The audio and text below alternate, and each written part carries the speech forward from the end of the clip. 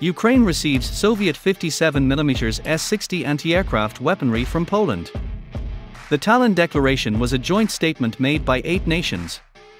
They are the Czech Republic, Poland, Latvia, Lithuania, Estonia, Great Britain, Denmark, and Slovakia.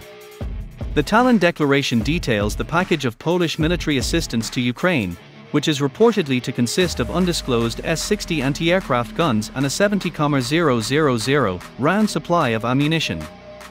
It is unknown which variant and how many guns will be transferred to Ukraine, whether they will be non-modernized units from the Military Property Agency, which may still have quite a few of this artillery anti-aircraft system, or whether they will be S-60MB from the US Polish fleet that have already undergone modernization.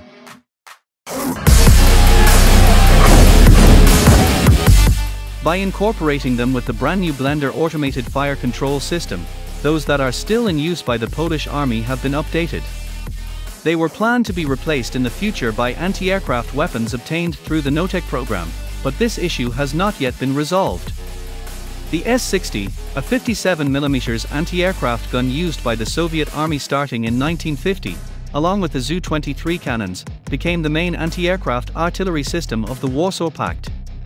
The basic model's range is 4,000 meters, while the radar-equipped model's range is 6 kilometers.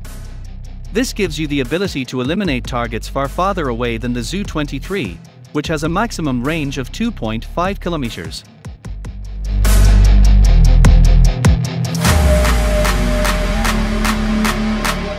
Its only current function is to destroy low-flying objects like drones or helicopters. The S-60's armor-piercing bullets are capable of penetrating any Russian infantry fighting vehicle or wheeled armored personnel carrier's armor at a distance of 1,000 meters, which equates to the equivalent of around 100 mm RHA. An MBT like a T-72 or T-80 can also have its side or rear armor penetrated.